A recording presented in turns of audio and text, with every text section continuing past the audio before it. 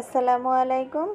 Welcome to Sultana blog and tips Sultana blog and টিপসের আরও একটি পর্ব দেখার জন্য সকলকে আমন্ত্রণ। আমি সব শুরুতেই সকলের কাছে অনুরোধ করছি, আমার এই চ্যানেলটি একদমই নতুন।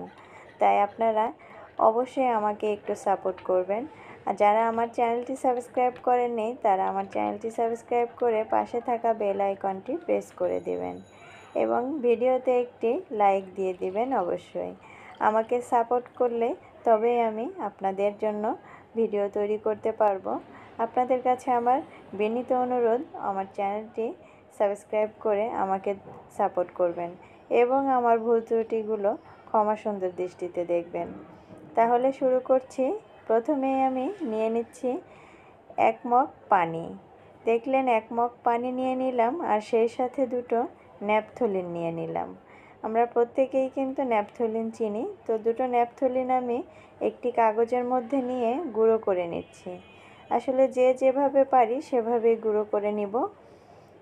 জাস্ট গুঁড়ো করা দিয়ে কথা। আমরা গুঁড়ো করে নিলাম।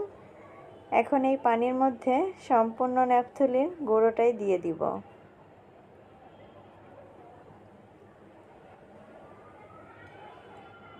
একটি চামচ দিয়ে পানির সঙ্গে একটু গুলিয়ে নিব। এখন দিয়ে দিব এর মধ্যে বেকিং সোডা। আমাদের প্রত্যেকের ঘরেই কিন্তু কম বেশি বেকিং সোডা থেকে থাকে। আর যদি না থাকে, বাজারে যে কোনো দোকানেই কিন্তু এই বেকিং সোডা পাওয়া যায়, নিয়ে নিলেই হবে। তো আমি এক চা চামচ বেকিং সোডা দিয়ে দিলাম। সেই সাথে দিয়ে দিব স্যাবলন। যদি ঘরে স্যাবলনের পরিবর্তে ডেটল থাকে, সেটা দিলেও হবে। তো আমার এখানে স্যাবলন আছে, তো আমি স্যাবলন দিয়ে দিচ্ছি।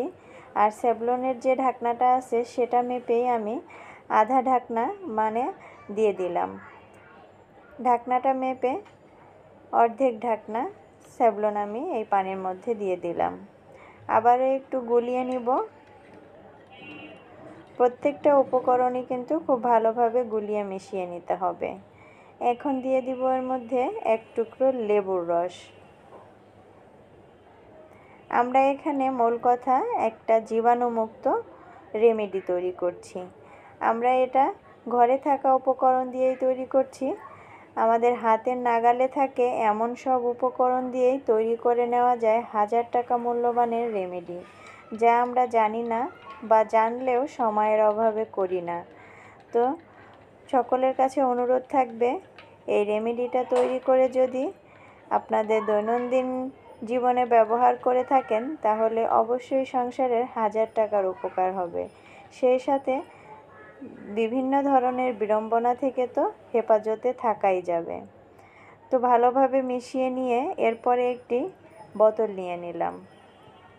এরকম বোতল কিন্তু প্রত্যেকের ঘরেই থাকে। আমি একটি সেভেন আপের বোতল নিয়েছি। এখন এই রেমেডিটা সেভেন আপের বোতলের মধ্যে ঢেলে দিচ্ছি। দিয়ে একটা স্প্রে ঢাকনা দিয়ে ঢাক খুব ভালোভাবে এটাকে আটকে দিব।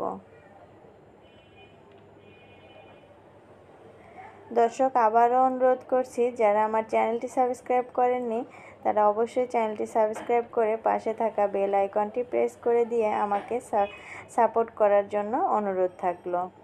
এখন এই স্প্রেটা ঘরের আনাচে কানাচে সব জায়গায় স্প্রে করে দিলেই কিন্তু ঘর থেকে চিরতরে দূর হয়ে যাবে টিকটিকি, তেলাপোকা এবং পিঁপড়া। ট্রাস্ট মি এই রেমেডিটা ব্যবহার করে দেখুন চিরতরেই চলে যাবে তেলাপোকার উৎপাত এবং টিকটিকির যন্ত্রণা।